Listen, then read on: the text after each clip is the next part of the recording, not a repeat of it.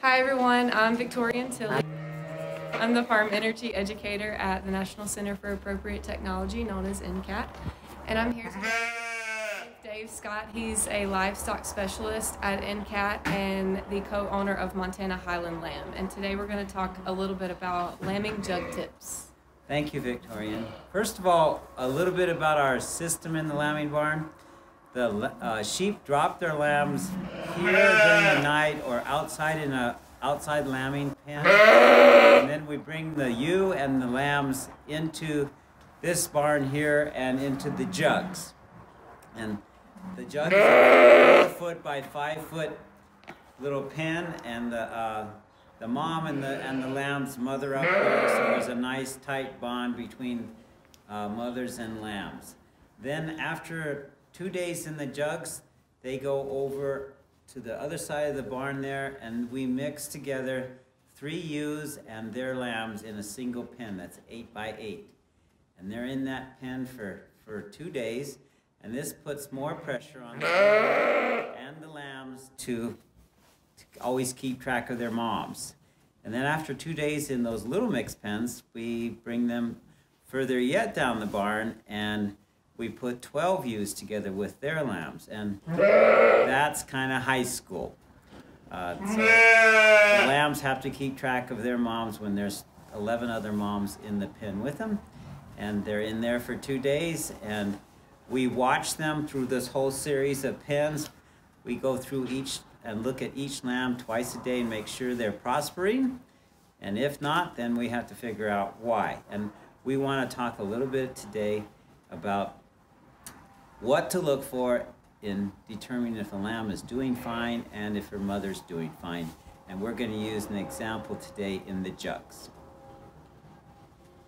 So Dave, what are the first things that you look for whenever you first put a ewe in the lamb? What we do is is when we're when we take a, a lamb and her mother, or lambs and their, her mother, their mothers out of the drop pen when where she just lambed, is the first thing I look for on is the udder of the ewe, and I want to make sure I keep in mind that she has teats that are sized correctly for the lamb to suck on her. If they're abnormally fat, then I make a mental note and and remember that I'm going to have to come back to that ewe and make sure that that lamb is able, or those lambs are able to, to nurse off the ewe. So what would a sick or cold lamb look like, Dave? Actually, this lamb, when I got up this morning, uh, it was like this. Its head was out like that, and we, we just call that the turkey pose, because it looks like a turkey. And, and when they're looking like this, they're usually really cold. And so you can test for how cold by putting your hand, your finger in their mouth. And if it's if it's really cold, you can tell. And when it's that cold, what we do is we put them uh, in the oven in the house. And we, we, just turn the oven to 300 degrees. And once it gets to 300 degrees, we, we open the door and let enough of the heat out so it's about 100 to 110, 115 degrees in there. Then we put the, the little lamb in a pan and close the door and we wait. And usually after about 20 or 30 minutes, we hear a baa. Just like that. so then we know that, that that little lamb is warmed up. Um, if they're really, really cold and basically lifeless, then that won't work. You have to take them into a hot sink or a sink with hot water about 120 degrees and you just hold them, suspend them in the water with their head out like that, and hold them there for about 20 degrees. And, and when they're that cold, they're not saying a thing. They're not even moving. So it's, uh, it's kind of a desperate situation. But you know that they've, they're coming around when they badge. Just like that. so those are two tricks that you can use to revive uh, cold lambs, and, and it really works. Are there any other things you look for in this newborn stage in the lambs? Yeah, the, the biggest thing we look for is their eyes. When they're born, uh, sometimes their, their lower eyelid can be curved into the eyeball, and so that's called entropion. And you can just barely See, this one has nice eyes. Um, but an entropion eye is the, low, the lower eyelid will be curved like this in, and if, if you don't do anything about it, it will scar the cornea of the eye and the lamb will go blind. So all you have to do is you take the lamb and you pull the eyelid down just like that, and then another person puts some eye drops in it. And the eye drops we use is called Animax. It's a veterinary product. And then you let it go back like that. And you do that about twice a day for three or four days. And usually it heals. Um, if it doesn't heal, then you can do some more uh, little tricks. And veterinarians usually sew it back down so it can't, it can't fold under. But we found that all you have, to, if you're just diligent about popping it out and putting some eye drops in there, after at least after a week, they'll heal. So, besides some obvious signs of hunger, how do you sort of immediately know that the lamb might be getting enough to eat? Like, what's a good indication? Yeah, the lamb will tell you. When it's sucking, see, here's the udder right here of the mom, and it's sucking. This little tail will going wig, wig, wig, wig, wig, really fast. And so that's how you. That's how they're happy. And so they're they're just really happy to ni- have nice warm milk, and they show it by their tail. Um, the other thing that we didn't talk about, or we did but didn't show it very well, is when you look at a lamb to see if they're full or not, you have to you have to make them stand naturally, or else. Or else, if you have them stretched out too much, they'll look skinny. Or if they're humped up like this, they'll look fat. So you have to let them just kind of st- stand naturally, and then you look straight down here. And see, this one still doesn't have enough milk in it. So um, we have to watch it, and we may have to hook it up a couple times during the day.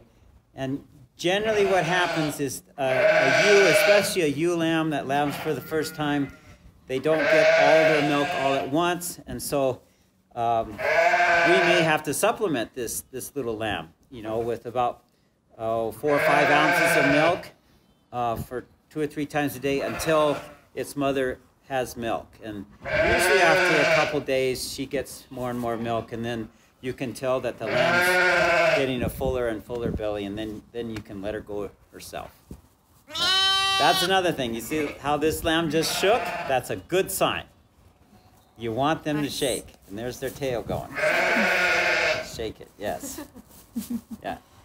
When, when a lamb is lying down and they get up after they've been sleeping, they'll always stretch if they're, everything's good in Lambville. So they'll just always take a stretch immediately after they, they get up. And this one wasn't sleeping, so he's not stretching. But, but that's how we always check if, if the lamb's in good shape is when they just voluntarily get up after they've been lying down, they'll always, almost always stretch. That's a good sign. So, in regards to the ewes, Dave, what do you usually look for whenever they're in that lambing jug? The easiest way to tell if a ewe is sick or not is by telling by looking as she is eating and drinking. This ewe was fed at about 6:30 this morning, and we use pellets in the lambing jug because they're easier than than using hay, and it keeps the stalls cleaner. Mm-hmm. So you can see that she's already ate all of her pellets. She ate about four pounds of pellets this morning. It's all gone, and we'll be feeding them at about five this afternoon, another four pounds. And so if they're healthy and everything's going good in their lives, they'll eat those pellets in a couple hours. So if you if you notice that she's not eating and she's not drinking, then something's wrong. So, Dave, if the ewe's not eating or drinking enough, what does that usually mean? It can usually mean two things. First one is she might have mastitis, and the second reason is she might have pneumonia. 90% of the time, it's one of those two reasons. And to check and see if a ewe has mastitis, you just feel her udder. And that udder should be nice and pliable. There's some ewes that have really fleshy udders, so you have to take that into account. This udder here is just a really nice pliable udder, and there's You reach all the way up to the back side of the attachment there. Feel all the way around. And if there's any hardness or, or if the udder is hot, that means that particular half has mastitis. And the udder is, is composed of two halves in a sheep, and they're totally independent of each other. And so she can have mastitis on one half and still have good milk and a good tissue on the other half. So if she's got mastitis on one half, she's only going to be able to raise one lamb. So, and usually, if usually if they have mastitis, they'll be running a temperature of about 103, 104 degrees. So it's always good to have a thermometer with you so you can take their rectal, temp rectal temperature and that can tell you a lot. So two of the biggest tools that a shepherd can have in the lambing jugs is a stethoscope and, and a thermometer.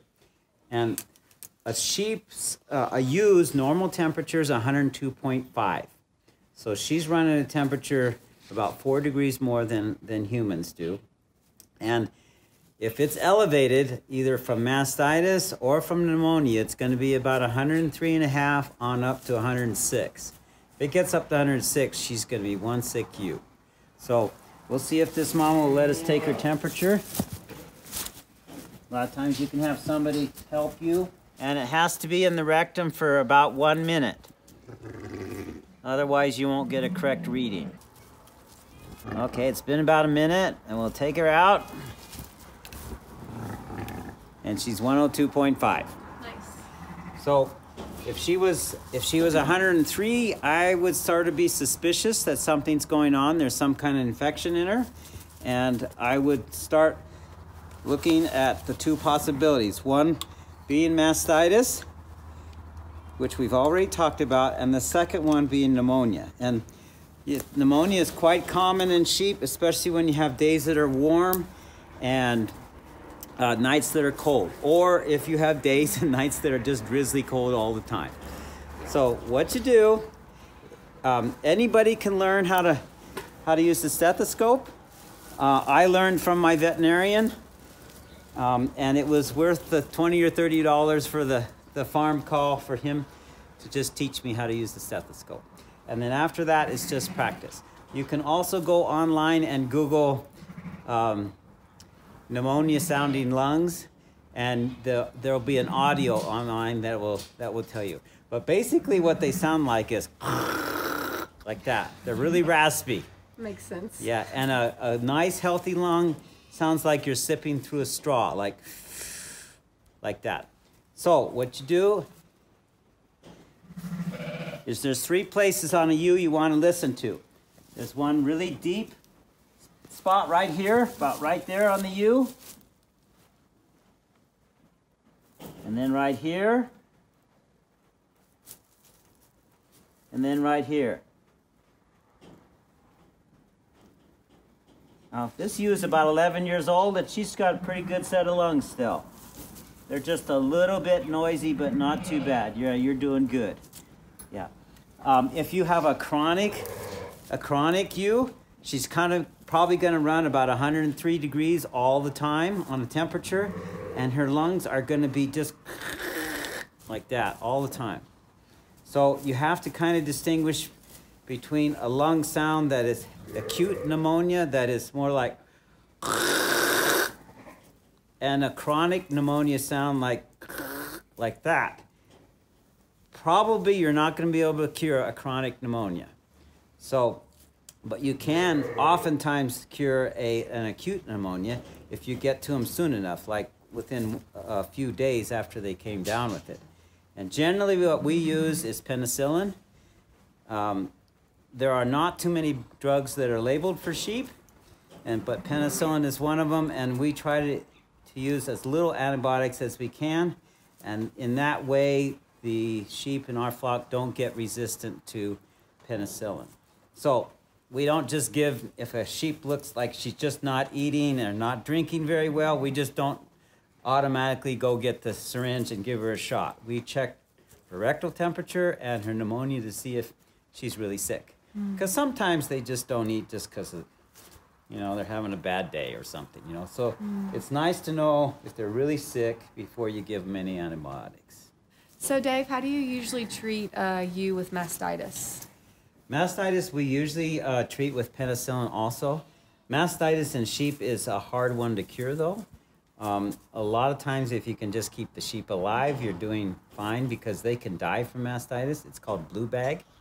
And uh, I'd say a third of the time, despite the antibiotics, the, the ewe might die on you. But what you can use is we give them penicillin sub-Q, and then we can also give them uh, an, in an intramammary infusion uh, with a uh, antibiotic that you can get at your feed store or your veterinarian that's for dairy cows. And so you infuse that antibiotic up into the udder, and um, a lot of times it takes care of it.